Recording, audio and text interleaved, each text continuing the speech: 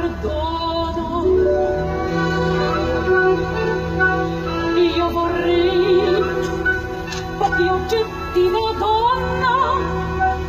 Dove sono? Sono qui, vi dispiace.